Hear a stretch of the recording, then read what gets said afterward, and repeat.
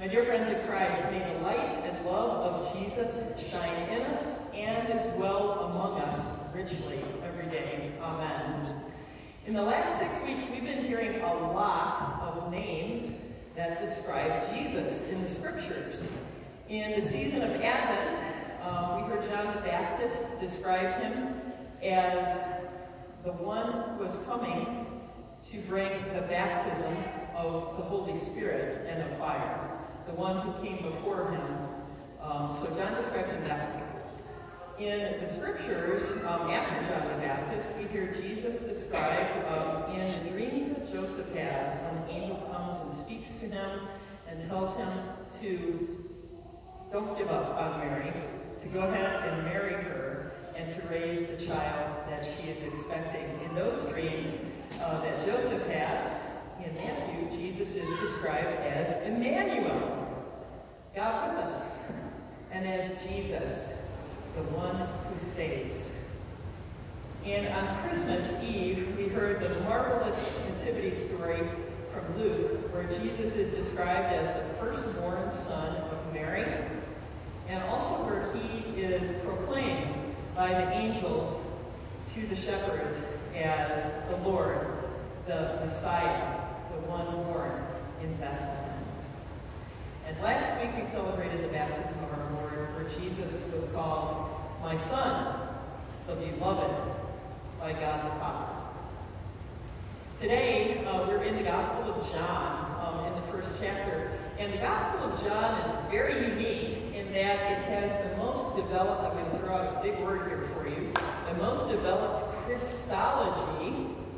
Does anybody know what Christology means? Study of Chris, Christians. Study of Christians. Almost close. Study of. The study of Jesus. Mm-hmm. Jesus. Jesus and, and the doctrines of Jesus, the theology of Jesus. So yeah, it's good stuff. Good stuff.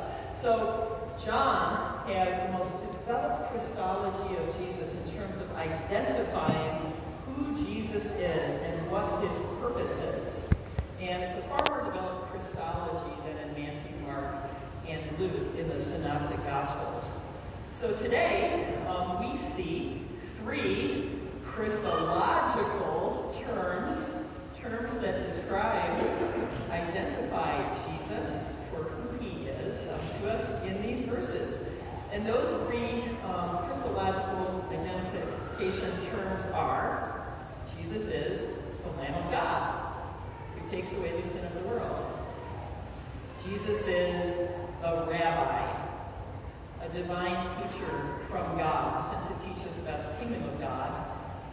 And Jesus is the Messiah, God's anointed one, who comes to save all of us from our sins and to bring us back into a right relationship with God. So this morning, um, in these verses, there are three very important things happening. Is a transition story, just like last week was a transition story between John the Baptist and Jesus, between those two important ministries. Today is a continuation of that. It's a transition between John's baptismal ministry, baptizing with water, and Jesus um, being the Messiah, the one that is long awaited for. So three very important things happen in this transition story today uh, that go along with those Christological terms, three terms that identify Jesus. So first is that John does a lot of powerful witnessing. John was a great witness in so many ways. And in these verses, John does a lot of witnessing twice where he identifies Jesus as the Lamb of God who takes away the sin of the world. So he points to Jesus as the one, the one who has been waited for for 700 years. The second important thing that happens in this story is that John blesses his disciples to make the transition from following him to following Jesus as the rabbi, the blessed teacher of God. And from that day on, the disciples of John followed Jesus and listened to his teachings and abided by him in their lives. So that's the second thing. There's a transition transition of discipleship. And the third important thing um, that happens in this story is that Jesus is called by Andrew, Simon Peter's brother, he is called the Messiah, the anointed one of God. So three very important things happen, and there's also the first evangelistic moment in the Gospel of John. And the first evangelist in the Gospel of John is Andrew, because he goes and he tells his brother Simon about Jesus, and he brings him to Jesus, and Jesus gives him that new name that so many of us know him by, Peter. And later on in the Gospel of John, uh, Jesus will bless him and say that you're the rock who I'm to build my church upon, because he sees such strength and potential uh, in Simon Peter. One of the really prominent themes of this season of Epiphany that we're in, in January and February, is that Jesus is the light of the world, that he brings light that shatters the darkness. The days are beginning to get longer, uh, which is a blessing for a lot of people who suffer from light deprivation um, issues in the winter months. But there are still so many people living in darkness. You might be one of them. Or maybe you have a sibling or a family member, another family member, a parent, a child, who lives in darkness, or a neighbor or a friend, someone who struggles so much with darkness. And there's a lot of ways that uh, darkness can overtake us and try to overwhelm us. Depression, illness, doubt, worry, uh, hatred, racism, fear of the unknown. These are just some of many, many ways that evil seeks to separate us. Darkness tries to overtake us and separate us from the love of God. Jesus is the one who brings light again and again and again to us. He brings light to us because he is the Lamb of God. He's the one who smashes sin, your sins, my sins, the world's sins. He's the one who defeats sin and embraces us in his love. Jesus brings light as our rabbi.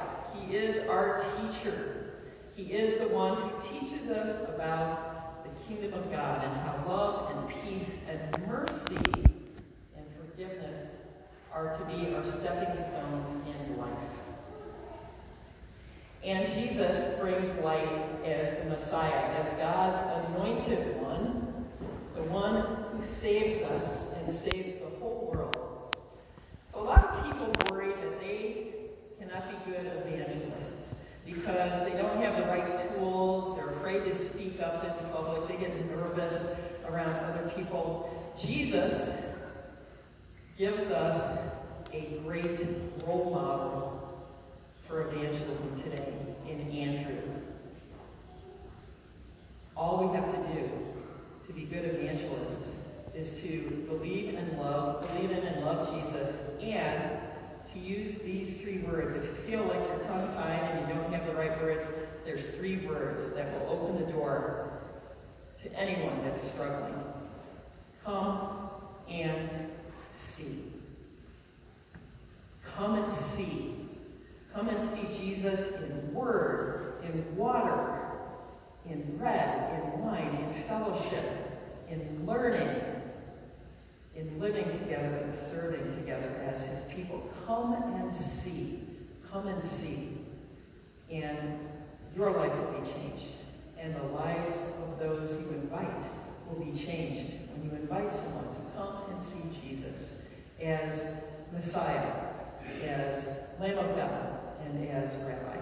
Let us pray. Heavenly Father, we give you thanks for your Son, Jesus, our Lamb of God, our Rabbi, and the Messiah. Thank you for sending him to us to bring light into our darkness. May his light and his love dwell in us and lead us and guide us graciously as his people. We pray in your name. Amen.